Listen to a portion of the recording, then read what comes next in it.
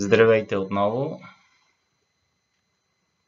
Днес отново е понеделник, 13 април. Най-голямата новина, свързана с а, моя статус в а, социалните мрежи, е, че от два дни нямам а, достъп до профила си във Facebook, където публикувах и коментирах. Може пък това да е за добро, тъй като се оказа, че това събитие по никакъв начин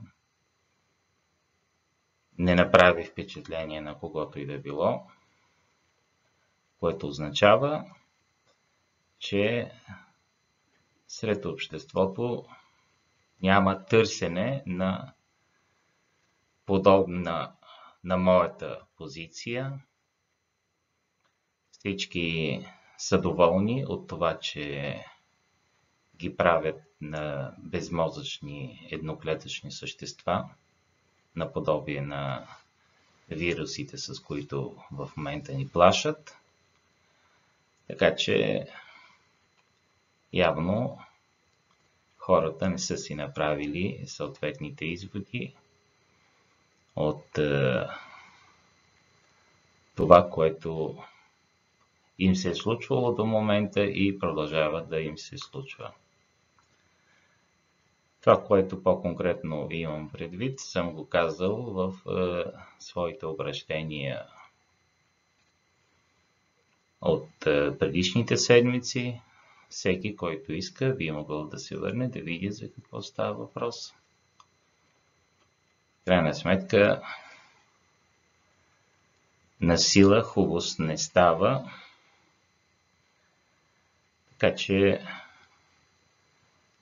тези мои седмични обращения аз ще се опитам да продължа да ги правя, но разбирам, че те ще бъдат просто само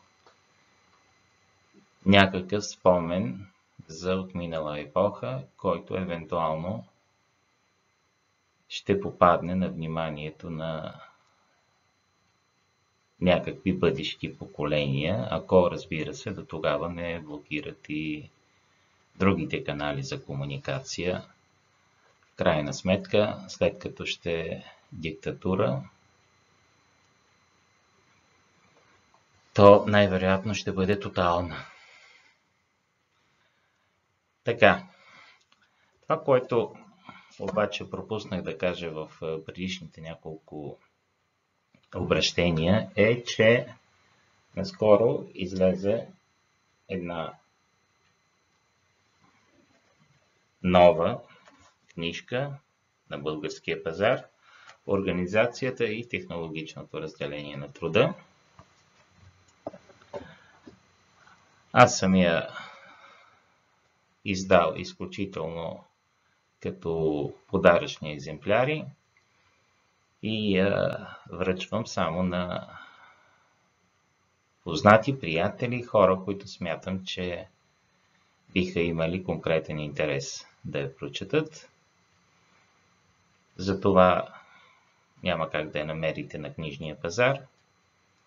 Разбира се, ако четете блога Кризата блог БГ, в много голяма степен. Там ще намерите отделни статии и постове, които третират приблизително същата проблематика, написани са в същия дух и, и така нататък. Ето, например, сега преди да се включа в това обращение, отново разлистих в блога си статиите, свързани с реакцията на България на глобалната дефлационна криза от 2008 година насам. Защо го направих? Случайно в 24 часа прочетох, че те имат някаква инициатива Купувай българското и съответно артистът Нейков излиза и започва да обяснява защо трябва да се купува българското. Та, тези неща, тези теми за мен бяха актуални преди повече от 10 на години. Ако не вярвате, наистина влезте в блога ми и подробно се зачетете. Когато призовавах за економическо възраждане, за реиндустриализация и други подобни теми, тогава същите тези вестникари от 24 часа ме хулиха, подиграваха се, унижаваха, канеха свои афилирани економисти, които да обясняват, че всичко това, което говоря, са пълни глупости и така нататък. Да, действително, в един глобален свят е немислимо да се мисли за това, че една економика вътре в определена държава може да произвежда всичко, да се самозадоволява. И в този смисъл аз също преживях много сериозна еволюция във времето. Особено след като нашите разработки по повод на концепцията за разделението на труда в качеството на неговото задълбочаване достигнаха много съществен напредък. Но факта остава такъв. Оказва се, че ако до завчера пожарникари и шофьори на военни самолети ни учеха как е, да управляваме економиката си. Днес е, артистите се включиха в е, това занятие. Очевидно е, че ние ще трябва, ние има предвид економистите, ще трябва да се преориентираме или да ставаме пожарникари или военни пилоти, или в крайна случай артисти, за да намерим реализация на своите способности в крайна сметка. Така, що се отнася до книгата, която ви показах, тя е естествен резултат от мои усилия през 2018 година да прокарам своята първа монография Феноменът между държавно прогнозиране и планиране, така се казваше книгата в своя първоначален вариант. След това бях убеден, че трябва да променя заглавието и то стана феноменът международно прогнозиране и планиране. Та, тази моя книга тогава предизвика изключително силна реакция, изключително негативна реакция, а всъщност в нея аз просто описвах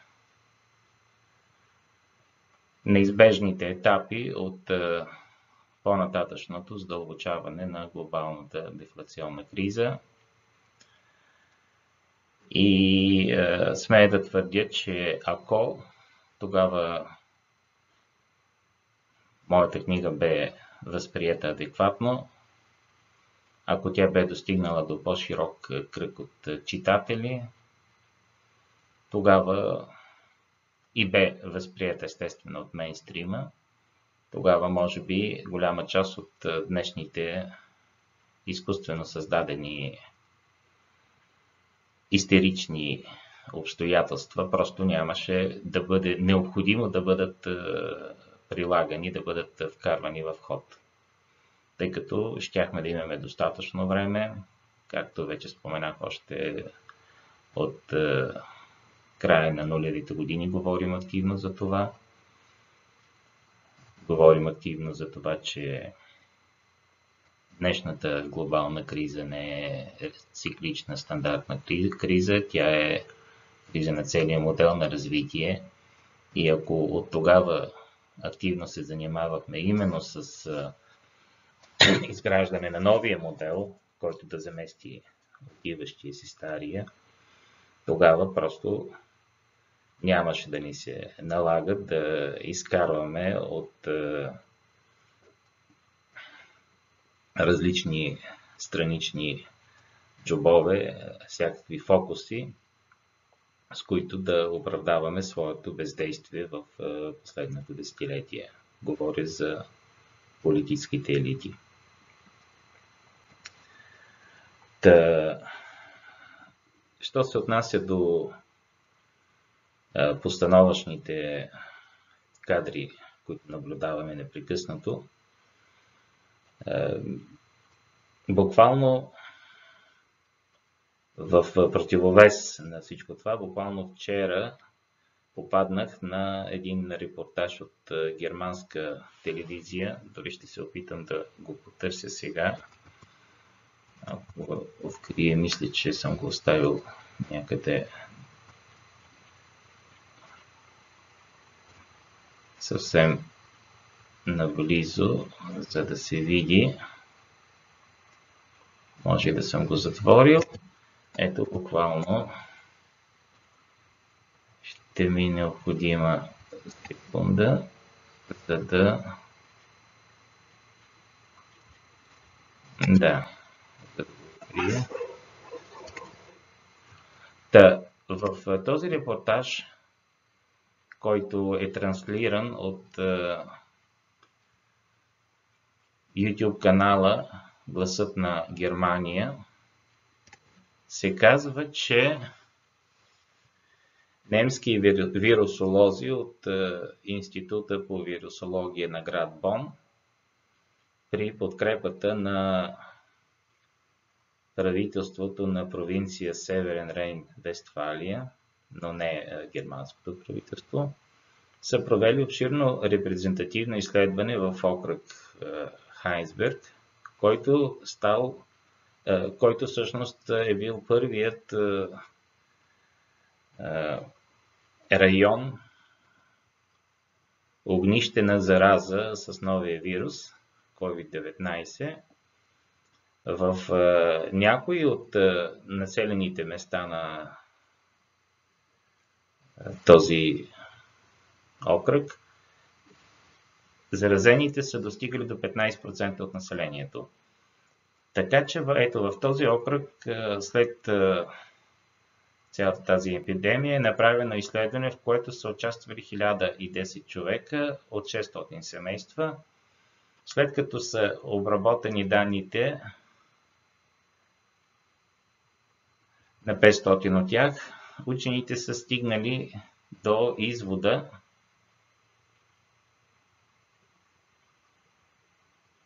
след обработка, извинете, на данните, учените са стигнали до извода, че смъртността сред хората с потвърден коронавирус е достигнала 0,37%, а сред населението 0,06%. Тоест, грубо казано, 0,37% означава, че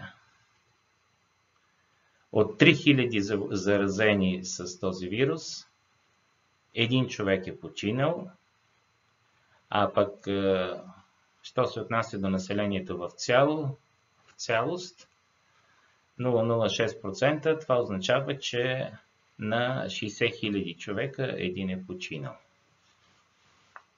Така. Ето това е едно ново изследване, което за пореден път ни показва мащабите на целият този процес по зомбиране на населението, по вкарването му в, в истинска паника, страх. И аз действително наблюдавам подобна паника навсякъде около нас. Буквално вчера дойде поредната новина, от Велинград този път. Там очевидно семейство, в което съпрузите не са се разбирали, но били принудени вече колко време, колко седмици да пребивават заедно едновременно сред четири стени. Та там се е случило непоправимото. Очевидно възникнала поредната семейна свада, скандал, след което от това семейство не е останало нищо. Предупреждавах за тези последствия, за психически разстройства, за психическо пренапрежение сред хората, как си го представят тези, които ни поведоха към подобен сценарий. Аз не продължавам да не го разбирам. Да не говорим за очертаващия се глад, който тихо предстои, т.е. ние няма да го забележим най-вероятно, тъй като силите са мобилизирани до край. В крайна сметка, в нашата държава и въобще във всяка държава, единствено и само държавата има право законово да налага насилие над е, хора или група от хора. Така че, най-вероятно, всички тези гладни или полугладни състояния ще останат да тлеят някъде. И добре, че идва пролета, идва лятото, както някога беше казал президента Петър Стоянов, да стигнем до зелено, пък оттам ще му мислим. Явно на това се надяват и тези, които продължават с а, този режим. Но, от друга страна, това, което ме обнадеждава е, че в а, страните майки, страните, които ни изпращат а, своя дневен ред, по който ние трябва да се водим, разбраха безсмислеността на създалото се абсурдно положение и постепенно започват да разслабват своите рестриктивни мерки. Най-яко това се видя в случая, когато започнаха да набират сезонни, сезонни работници, за да им бере, някой да им бере плодовете полетата, зеленчуците, които гният и така нататък. Става въпрос за Англия, за Германия. Чуха се репортажи от Румъния, които говорят за това, че румънското правителство не искало да пуска своите граждани да ходят да берат, да събират реколта, ето, оказва се, че за пореден път, когато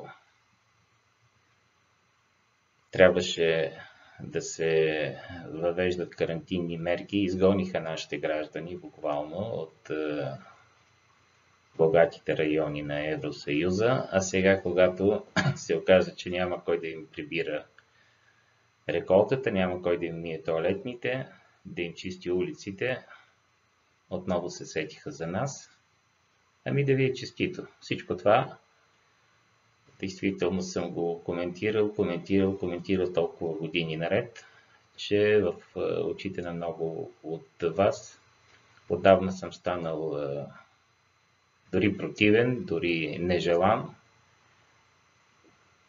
Затова и днес практически никой не ме гледа, защото когато говорех неща, които днес са актуални за говорене, тогава цялата машина работеше против оповестяваните от мен тези. Сега, когато това нещо, което обявявах на висок глас, стана модерно. Естествено, аз отново не съм а, а, търсен, никой не се интересува от моята гледна точка, въпреки, че всъщност всички днешни оратори са просто едни плагиати, за тези, които не знаят какво означава плагиат, ами просто повтарят думи, които някога ние говорихме на висок глас и които тогава ни забраняваха да употребяваме. Така, нека да продължим. Аз съм си нахвърлил няколко основни пункта, по които мога да ви говоря. Разбира се, не всичко е задължително да коментирам, но все пак ще се опитам да погледна в бележките си. Така, ето под втори пункт съм записал да коментирам дали днешните управници по света, аз не говоря за българските техни слуги, защото те са твърде, твърде ниско в иерархията, за да им обръщаме внимание, да дали тези, които надробиха тази каша, разбират всъщност какво направиха. Както вече споменах многократно, идеята беше да оправдаят економическите спадове, които така или иначе предстояха, да ги обективизират, по-научен термин, защото за нас беше напълно очевидно, че с инструментите, които използваха до този момент, ситуацията не можеше още дълго да се държи под контрол Нашите предварителни очаквания, лично моите, бяха сега, когато говоря за нашите, нека да уточня какво имам предвид. Е, имам предвид е, една група от економисти е, около кръга Неокон от Русия, Москва. Тук включвам Михаил Хазин, някаква степен Григориев и техните последователи и аз като техен съратник. Та, когато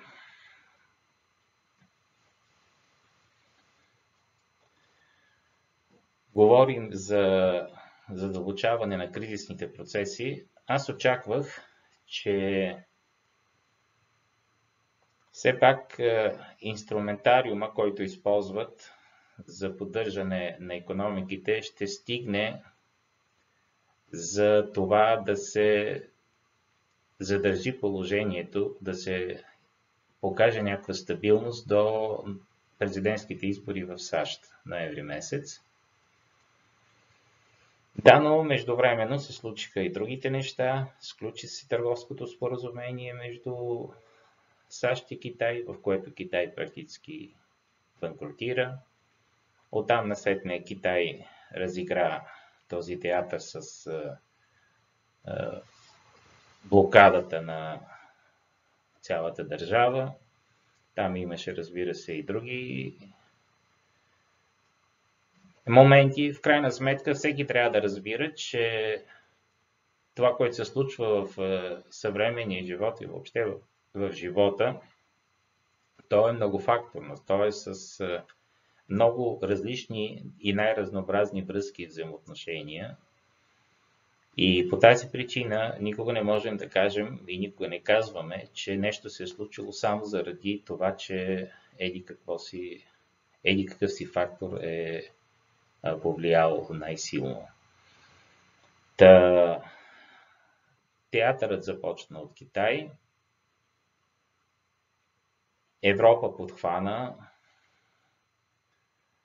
този спектакъл, най-вече страните, които така или че вече отдавна бяха в клинична смърт, финансова, економическа клинична смърт, страни като Италия, най-вече, като Франция, като Испания и по някаква странна или не толкова странна причина им запригласиха страни от сорта на, на България, на Украина, на Румъния, на Гърция, разбира се.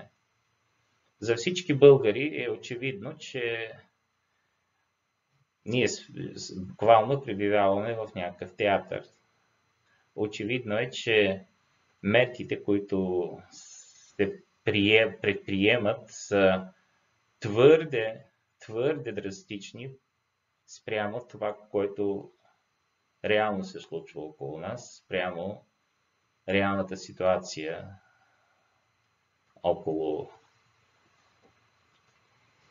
нас, в нашите градове, в нашите села, буквално от пръсти се опитват да измукват всякаква такава информация, а в крайна сметка хората просто преболедуваха този вирус. И това се случи още януари, февруари месец. От няколко години, например, аз забелязвам, че възрастните наши хора си отиват именно в тези месеци, в края на зимата, когато имунитетът вече е отслабнал, когато определени вируси за пореден път преминават през населението и хоп, точно тогава умират нашите възрастни, близки хора. По този начин, преди няколко години изпратихме възрастния ми дядо, Войчо, Чинка, възрастни хора. В общи линии, за съжаление, такъв е кръговратът на живота. По-младите успяват, преодоляват, успяват да преборят всякакви сезонни грипове, успяват чрез имунната си система да се запазят живи, а възрастните наши хора си заминават и ми се струва прекалено, прекалено гадно този естествен житейски кръговрат да се използва за цели, които са твърде прозаични, твърде комерциални, твърде плоско съшити.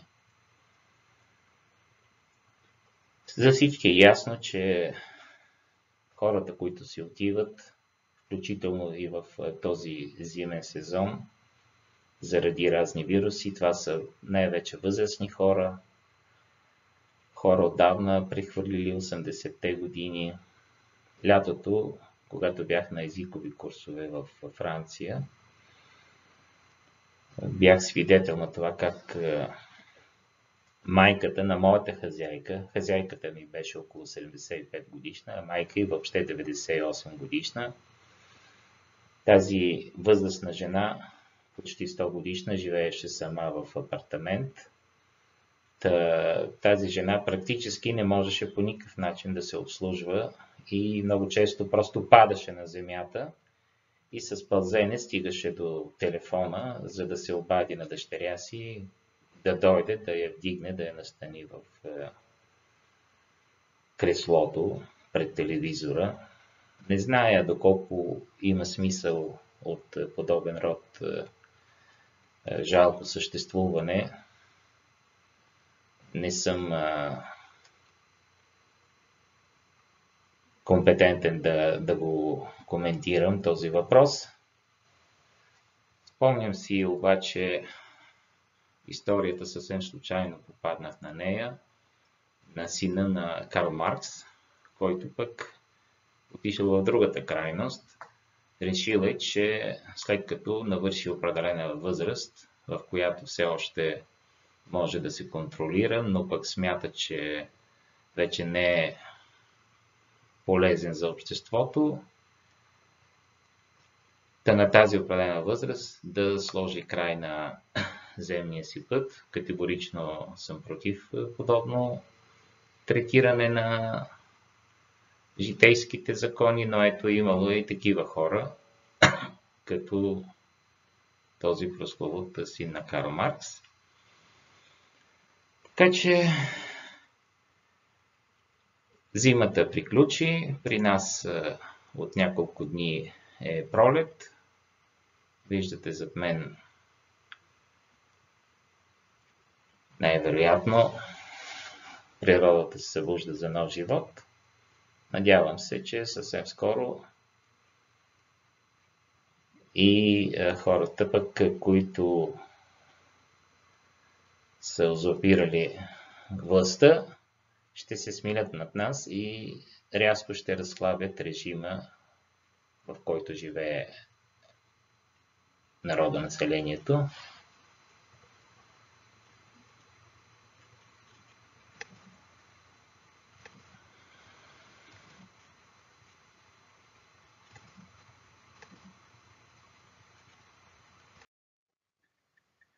В този момент някаква програма в е, компютъра обяви за себе си и по този начин е, приключи първата част от е, моето включване.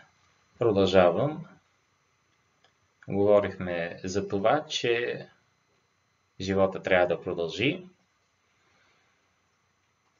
Новата първа шефка на еврокомисарите вече се произнесе по този въпрос. Спомена, че най-вероятно възрастните хора ще трябва да бъдат поставени под карантина до края на тази година, може би. И тя въобще се изрази, докато се открие, създаде вакцина срещу новия вирус. Дано все пак това нейно изказване да е само поредното междинно изказване, което да води към един по-разумен резултат. Т.е. следващия път, да речем, когато отново реши да вземе думата, да обяви, че ще става въпрос само за заболели, възрастни хора, защото никой не може да накаже един възрастен човек само заради това, че той е възрастен. И когато той се чувства добре, да бъде държан в къщи. Със сигурност, ако поставиш такъв човек да стои непрекъснато в къщи, той много по-лесно ще се разболее, отколкото ако продължи живота, който е провеждал на момента. Та,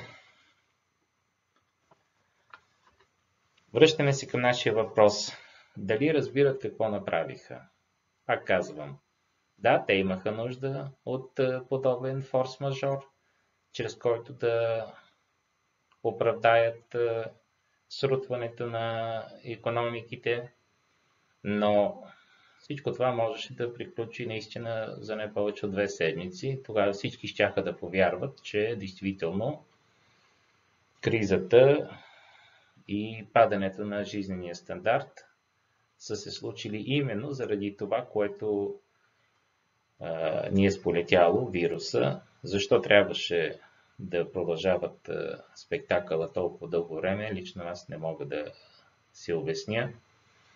Може би все пак сред тях има достатъчно разумни хора, които са оценили мащабите на това срутване, на това пропадане и са разбрали, че е необходимо да изграждат някаква нова психика, някакъв нов обществен морал за това как обществото ще живее от тук насетне. И съответно са решили да пречупят този либерален дух, който всяваха в последните повече от 30 десетилетия сред развитите общества. Да си припомним, че в времената на Великата депресия от 30-те години на 20 век практически цяла Европа се управлява от авторитарни режими – някъде по-твърди, като нацистска Германия, например, другаде не чак толкова. Не зная дали да включим България в един или в другия клас от страни, държави, но в крайна сметка и ние сме един от тези авторитарни режими, който управлява страната си до края на Втората световна война. Що се отнася до днешната ситуация с България, разбира се, аз мисля, че те добре изпълниха препоръките, нарежданията на център, на Брюксел, на Вашингтон, но най-вече на Брюксел, разбира се, тъй като вече започнахме да разграничаваме командите от Брюксел с тези от Вашингтон. Тоест светът върви към една глобализация. Та нашите си свършиха добре работата, но не забравиха да помислят и за своя джоб. И ако допреди няколко седмици аз ги призовавах просто да си напълнят банковите сметки и да се махат от тук, да се изнасят, да ходят да си живеят някъде живота, то сега най-вероятно българският народ едва ли ще е доволен от подобен сценарий, подобно развитие на събитията и най-вероятно ще иска сметка за това, което му е причинено. И в този смисъл, дори да избягат с награбените милиарди, най-вероятно народът ще ги потърси и ще ги открие, за да ги върне обратно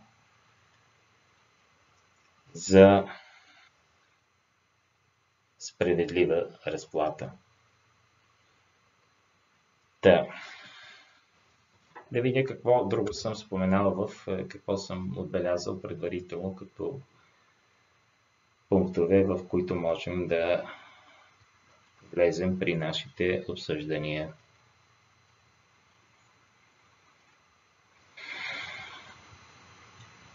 Така, отбелязал съм, че бихме могли да коментираме по един такъв въпрос, как ще изглежда светът след цялата тази криза.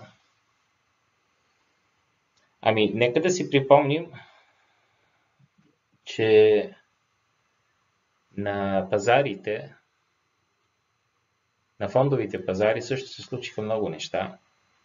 Най-напред те започнаха бурно да падат, след което се намеси Федералния резерв и буквално отвори кранчето до безкрай. В момента парите просто текат. И разбира се, блажени са тези, които стоят до самото кранче, защото точно те ще продължат да се обогатяват, а периферията на света ще продължава да става все по-бедна, относително по-бедна спрямо центъра, откъдето идват е, паричните вливания. Ето как е, се изгражда дивергенцията, разслоението световното, когато единственият вариант да се фиксират печалби, да се трупат богатства е да стоиш на кранчето и всички останали, които са далече от него, включително хора, които са спестявали десетилетия наред, просто ще останат с пръст в устата. Днес, буквално преди да се включа в това обращение към вас, прочетал в NewsBG една подобна статия на някакъв представител на австрийската школа. Очевидно, че хората вече почват да се усещат и едва ли ще позволят подобни фокуси да продължават да се организират с техните съдби, с техните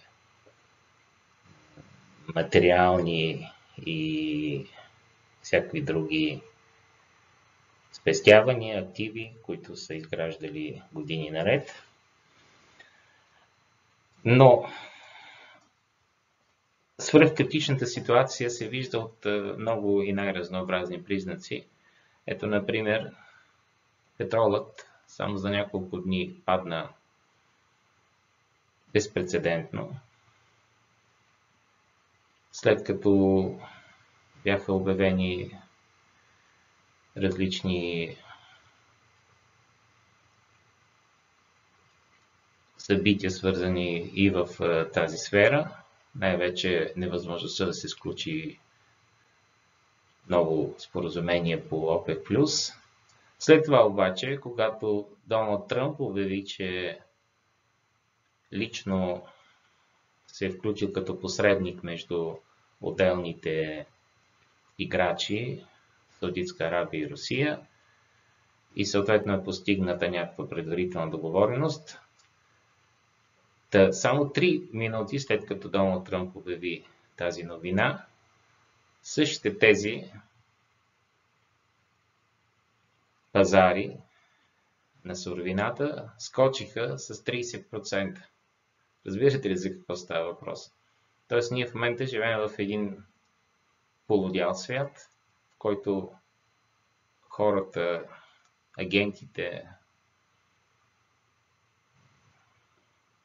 всички са в едно, може би вече инфарктно състояние, преди инфарктното сигурно вече се го преживели. В момента се преразпределят колосални суми, колосални парични потоци, капиталови потоци, защото предполагам, разбирате, когато един пазар рязко пада, това означава, че някой рязко губи, но някой друг рязко печели. Съответно, когато определен пазар рязко скача с 30%, това означава, че някой рязко е загубил, друг рязко е спечелил. И в тази връзка е моята препоръка. Не участвайте, не се включвайте в подобни движения, волатилности, защото най-вероятно ще загубите и то ще загубите много подведнъж. По-добре изчакайте всичко да мине покрай вас както беше казал някога Тодор Живков, който между другото стана вече много популярен в интернет пространството, снишете се при бурята. Така. Това, което виждам, че единственото, което съм отбелязал е да спомена, че за влушаващото се ескалиращо влушаване на ситуацията по света има достатъчно много оставени следи, т.е. изказвания, публикации. Търсете подобни публикации. Знаете как се казвам. Чували сте имената на моите приятели, съратници, Михаил Хазин, Олег Григорьев, въпреки че двамата не се разбират много добре един с друг, но в крайна сметка за мен това няма значение. Те са мои съмишленици, с които съм работил дълго, усилено в последните повече от 10 години. Когато в началото на нашата съвместна работа моите изказвания, моите публикации в България се интерпретираха или директно се копираха, за да бъдат представени като чужди, като мнение на други хора. Аз не го възприемах като лична обида, но сега вече с времето разбирам, че съществуват два типа хора. ние пчеличките, които създаваме базата, върху която се говори, върху която се комуникира с обществеността и другите търтиите, които просто излизат пред камерите, в вестниците и, и къде ли още не и е, повтаряйки нашите тези, най-нагло при това ги представят за собствени умозаключения. Но, в крайна сметка, резултатът дано да е положителен. За съжаление, не смятам, че ще се получи по този начин и още веднъж да обоснова тази своя позиция. Когато някой те повтаря, той те повтаря само в видимото, това, което ти си изнесъл пред широката общественост. Но това, което е вътре в твоята глава, няма как да му го инжектираш в празната тиква. И се получава, че той повтаря, докато има какво да, да чуе. Оттам насетне отново включва първосигналната реакция и тази първосигнална реакция води до, до никъде. В тази връзка, ето нека да бъде, това да бъде е, последната ни е, тема, по която да коментираме. В тази връзка за пореден път много неприятно впечатление ми направи